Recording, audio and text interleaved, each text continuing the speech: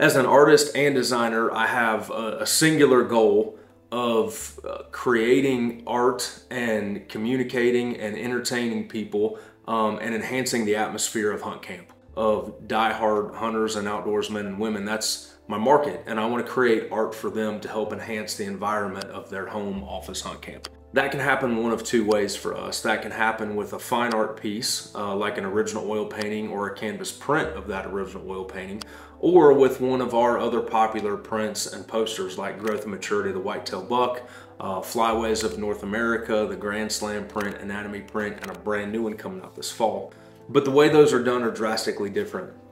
On original oil painting, what I will do is I have a concept in my head of something that I want to create. Uh, might be a scene, might be a pose of an animal, something like that. And what I will do is I'll take uh, photos that I've taken myself or from a reference photographer or stock photos, and I'll combine those into a single composition. I'll do that in Photoshop a lot before I go to actual paint. Um, then I'll spend an afternoon or so sketching and studying that animal and that pose. And that helps me understand a little bit more about the anatomy, the angles, the shape, and what I'm gonna go, go for in the painting. It also helps me work out some of the compositional issues. And once I've sketched for, you know, half a day or so, I'll have a little bit better grasp of what I want to convey in that painting. From there, I'll sketch the scene out on a canvas. I'll put down an underpainting layer and then I'll start painting color on top of that. And the goal is to, again, to bring an animal and a scene to life through oil paint. After that's done, we'll uh, wait a little bit of time uh, for the paint to dry, varnish it, frame it, sell the original. Before we sell the original, I will take a high-res photo of that. So we've got it in case we want to you know, license the image in case a nonprofit group wants to feature it in their core pack, in their banquet program, um, in case we want to make prints ourselves or for just our own reference. Uh, so I have a high resolution digital file of that. When we do some of the other art, the, po the posters and the, the paper prints that have become really popular, that's a little bit different process. Um, graphic design is primarily done like on a Mac uh, through InDesign, Photoshop, Illustrator, some of these programs. And what you're doing, you're still trying to communicate a message, but as a graphic designer, you're taking art, information, copy, infographics, and you're putting that all together to communicate that. With those, we will, I'll take a concept like growth and maturity of the whitetail buck. That's all about how to age a deer on the hoof and, and like a celebration of his life cycle and the changes that he goes through. Um, I actually hire out a guy, a buddy of mine, Cameron, and I'm a designer by trade, so is he, but I like his look, I like his style, and I wanted some outside perspective on these. I wanted to have um, his input and I wanted to see a little bit of a fresh take. Sometimes I'm too close to a project, and so I wanted some fresh perspective from him. So I will come up with the concept, write out all the copy, um, I might spend two, three weeks doing research, initial sketches, kind of concepting the whole piece. Then I'll meet with him and give him the copy and some of the rough images. And then from there, he'll kind of craft, you know, how the information is laid out.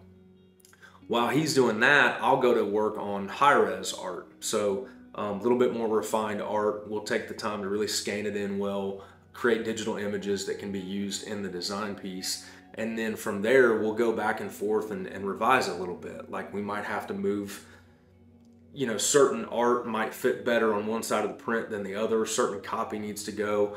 Um, a lot of times we cut copy like it's too copy intensive so we'll cut some of that out um, and just focus on the key information that that hunters want to know rather than uh, you know full page pdf type deal the goal there is to craft something that's entertaining, inspiring, and that people value for their hunt camp.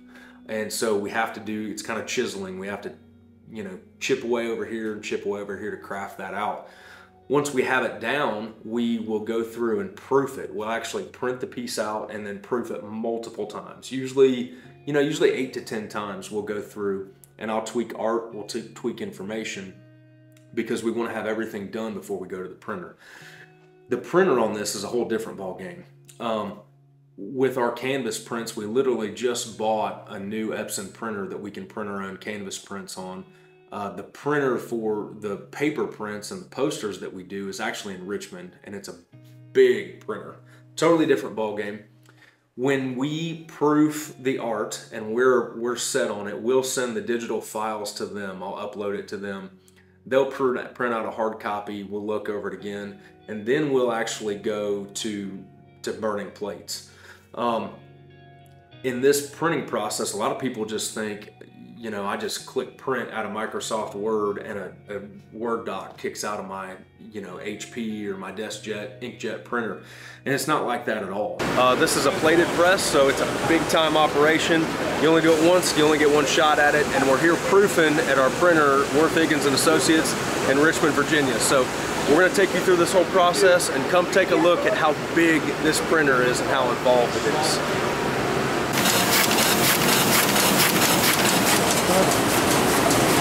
So this whole thing right here is our printer. It'll go all the way down this. Is probably 15, 20 yards long, and we'll show you where they proof it on the other side.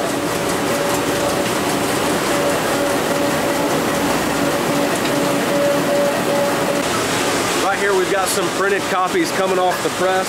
Um, I've already proofed them. We adjusted the color a little bit, pulled a little yellow out. I approved them and now they're going to press.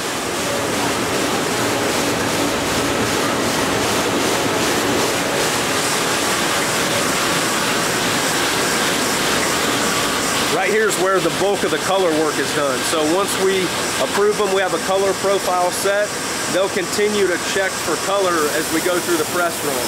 So this is done with a scanner here and digitally here. If we need to adjust color, they'll adjust the color one at a time, cyan, magenta, yellow, or black, and it's all done digitally. The printing process here, it's a four color plated press, and you have four metal plates and each one of those plates has a color on it. You have cyan, you have magenta, you have yellow, and you have black. And just like as an artist, I can mix blue and yellow to make green, the, the printer will lay down a dot pattern of these different colors to make a full color image. And virtually every printed piece you see is done in CMYK color mode. You have these four plates and the printer itself is probably the size of a, a, shipping container. I mean, it's a big printer. You actually load it from the top, the, the plates. So we will submit the final art to them and they'll burn plates for each one of those colors and then the single piece of paper will roll through and it'll hit the, the magenta plate, the cyan plate, the yellow plate, and the black plate, and each one of those patterns will lay down the colors to produce a full color image. Once we get to that point at press, the only thing you can do is shift colors. And there's a guy there that's got a whole uh, system set up on how to do that, how to just bring one color up 10%, drop another one 10%, and get that dialed in.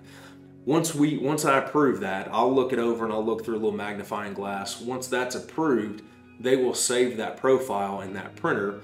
They'll they'll print the full run and then they will save those plates. I think they save them for up to 10 years. So if we ever want to rerun that, they get the plates back out, they pull up the profile, get the paper samples that we want, and then run them again. Um, but yeah, it's a really involved process. We actually like all of that has to be done in person. Everything we've done up until that point has been over over the mail, shipping stuff back and forth. But the press check is what they call it. It's actually done in person, and we have a time that we're on press. So once we approve, they print our entire job. We come home, and a couple days later, the prints arrive, and we inventory those here. You know, we've got climate controlled warehouse over here and um, everything ships from my studio. Uh, you know, we've had, we've experimented in the past, and I say experimented, we've tried it once or twice, uh, having things print on demand from another vendor. And I just don't really, I've never been happy with it. You know, I want, I want my work to have a high standard. I want it to be high quality and you just never know. You can't always trust what that vendor is going to ship to your customer and it's a direct representation of me and my work. So we haven't done much with third party vendors or drop shipping or fulfillment just because of the quality control. And that comes with canvases, prints, apparel, just about everything. So we've over the years we've brought things more in house, and you know that's one thing that I'm really proud of. It's it's taken. I've been on. I've been working for myself for about a decade, and you try something and it doesn't work, and you try again, and you try again, and you try again, and slowly we've kind of got things dialed in to where you know all of our prints, everything is made in the USA, and I'm proud of that.